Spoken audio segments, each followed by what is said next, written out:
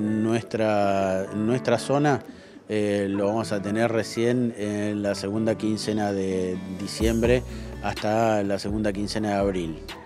Eh, por lo tanto, no hay dengue en, todo el partido de la costa ni en los alrededores. Eh, no es una zona apta en este momento para la reproducción del mosquito.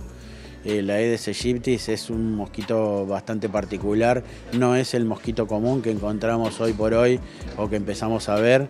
Este, la verdad que este no es el mosquito. Nosotros venimos trabajando con dengue desde eh, mayo de este año, eh, en reuniones intersectoriales eh, de educación, de cultura, de medio ambiente, de servicios públicos y de salud. obviamente dentro de salud está zoonosis. Así que venimos trabajando arduamente con esto, eh, haciendo reuniones y capacitaciones. Eh, ahora estamos saliendo directamente a la, calle como para poder indicarle y para poder este, reclamarle al vecino que también tenga una participación en, este, en esta cruzada que nosotros necesitamos para tener la menor cantidad de dengue posible. Estamos también eh, realizando a nivel municipal la producción de repelente. Todos sabemos lo que vale un repelente común en el comercio y que de última tampoco lo conseguís.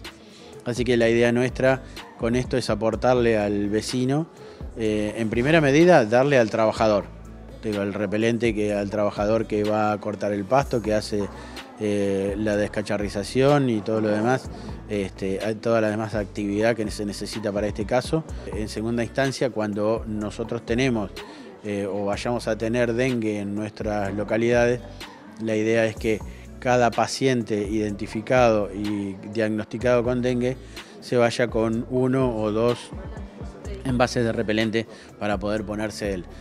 La idea es que si yo estoy contagiado, me tengo que llevar un repelente como para ponerme repelente y que los mosquitos no se acerquen a mí, no me piquen, para que ese mosquito no pueda trasladar el virus eh, cuando te pica vos.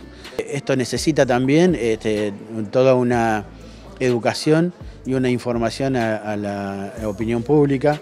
Necesitamos de la colaboración de ellos. Eh, la descacharrización eh, a nivel eh, local, es, este, a nivel habitacional, es muy importante. Nosotros sabemos que este mosquito tiene un hábitat aproximado de 50 metros a la redonda, o sea que no es un mosquito que se va a criar en un cañadón, no es un mosquito que, o una larva que va eh, a ponerse en una laguna, eh, simplemente busca lugares oscuros, busca lugares con baja temperatura, lo que puede ser un tacho y en 24 horas eh, la larva eclosiona y en 48 horas tenemos un mosquito. La idea es tratar de erradicar la mayor cantidad de larvas y poder de esta manera este, combatir cada uno desde su casa y obviamente que eh, la municipalidad lo está haciendo desde todo punto de vista.